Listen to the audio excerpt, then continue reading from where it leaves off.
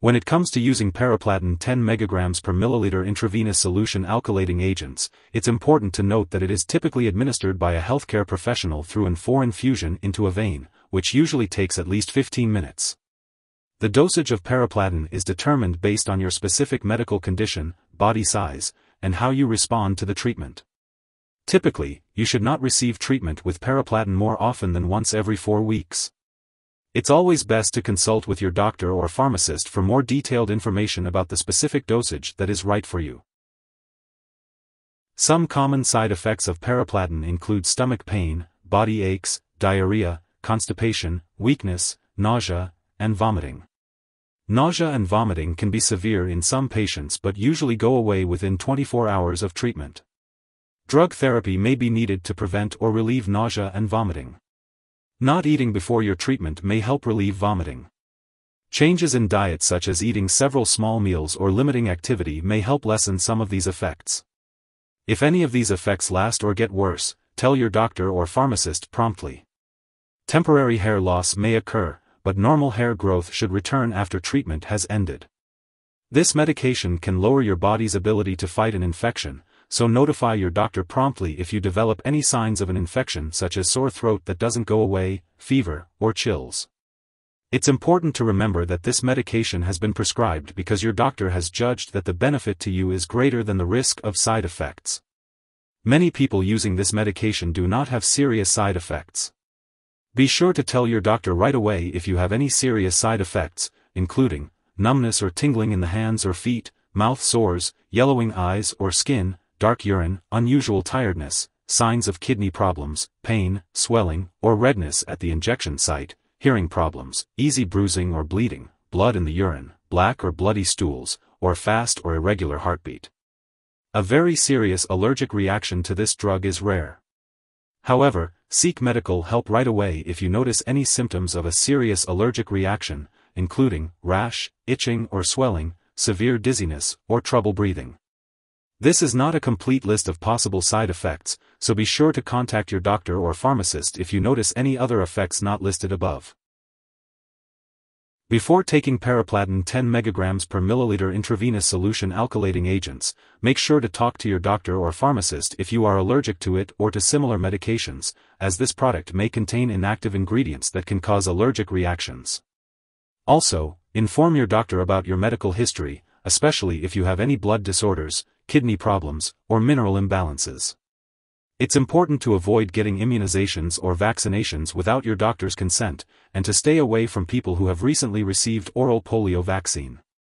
Be cautious with sharp objects and try to avoid activities that may increase your risk of getting cut, bruised, or injured. Wash your hands regularly to prevent the spread of infections, and be aware that older adults may be more sensitive to the side effects of this medication. Children may also be at greater risk for hearing loss when using this medication at higher doses in combination with other medications that may affect hearing.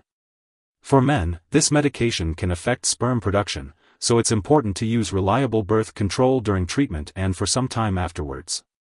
If you are pregnant or planning to become pregnant, talk to your doctor about the risks and benefits of using this medication, as it may harm an unborn baby. It's also not recommended to breastfeed while using this drug, so be sure to consult your doctor before breastfeeding. It's important to be aware of potential drug interactions that could affect how your medications work or increase your risk for serious side effects. Be sure to keep a list of all the products you use and share it with your doctor and pharmacist. Do not start, stop, or change the dosage of any medicines without your doctor's approval. Some products that may interact with paraplatin 10 mg per milliliter intravenous solution alkylating agents include aminoglycoside antibiotics, such as gentamicin, neomycin, amphotericin B, certain anti-seizure medications, hydantoin such as phenytoin, and certain water pills, loop diuretics such as furosemide, bumetanide. Be sure to discuss any concerns with your healthcare provider. If someone takes too much paraplatin and experiences severe symptoms like fainting or difficulty breathing, it's important to seek immediate medical help. In the U.S., you can call 911 or your local poison control center at 1-800-222-1222. Canadian residents can call their provincial poison control center for assistance. It's important to have regular lab and medical tests, like complete blood counts, kidney function, and blood mineral levels, while using Paraplatin 10 mg per milliliter intravenous solution. Make sure to keep all of your medical and lab appointments, and consult your doctor for more details. Make sure to take each dose of Paraplatin 10 mg per milliliter intravenous solution alkylating agents as prescribed by your doctor. If you happen to miss a dose, it's best to consult with your doctor or pharmacist to rearrange your dosing schedule. This medication is typically administered by a healthcare professional through and for, and the dosage will depend on your medical condition, response to treatment, and other medications you may be taking. Be sure to follow your doctor's instructions carefully. This medication is typically administered by a healthcare professional in a clinical setting and should not be kept at home.